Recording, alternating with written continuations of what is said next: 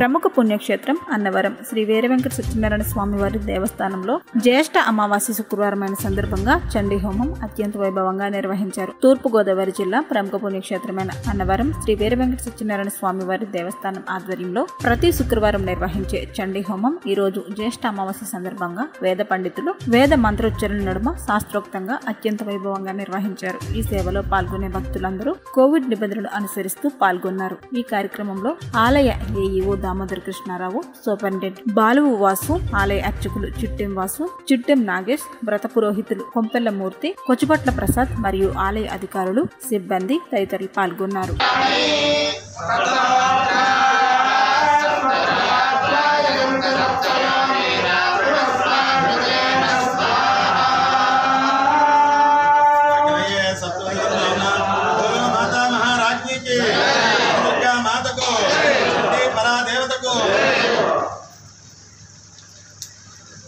Thank you.